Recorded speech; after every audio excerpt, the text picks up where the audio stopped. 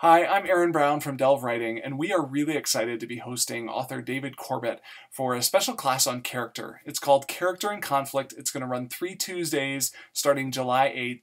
We really hope that you'll check it out on our site and find out more about this wonderful opportunity to develop your protagonists and antagonists and all of your supporting characters to make sure that your novel is as rich as possible. It's a very practical, hands on course we think you're going to love. But in the meantime, I wanted to share with you just a little clip from one of David's fantastic classes that he did for us last summer. Enjoy. I like to think that empathy and experience reinforce each other, and that our experience permits our understanding of ourselves to enhance our understanding of others, and empathy permits our engagement with others to deepen our own self understanding. Um, there was a friend of mine in my 20s who said, You don't know yourself by yourself.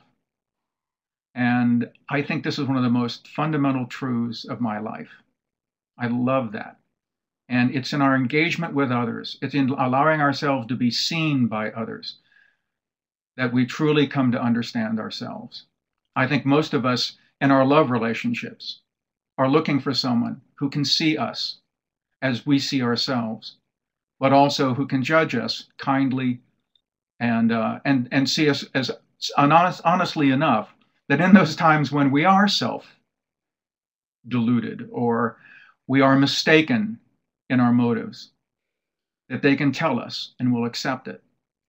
Um, so you don't know yourself by yourself. And so building your experience along with your empathy is key to being able to be good at characterization. But ultimately, it still gets back to you. And what do I mean by a deeper understanding? And why is it important? Okay, one, again, it, it helps form an intuitive bond with the character because the better you understand your own emotions, the better you'll understand your character's emotions. But also, face it, your life is the one unique thing you bring to the page. Nobody else has your emotions. Nobody else has your instincts. Nobody else has what you have. It's the one unique thing you bring to your writing experience.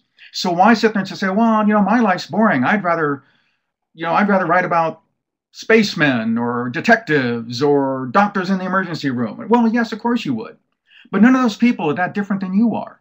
And accepting that and understanding that is how you'll really be able to go to those, those different locations, those different scenarios, those different worlds, and animate them with characters who are emotionally significant, credible, and interesting. The other great thing about doing this kind of, of work is that it tends to mitigate the tendency to be writerly instead of honest and open. Once you've begun looking at yourself honestly, you stop trying to be the great writer. You instead start trying to be the truthful writer. And I think that's where we all should be aiming. If you try if you write well, you're writing truthfully and directly. So understanding yourself is one of the key elements in being able to do that.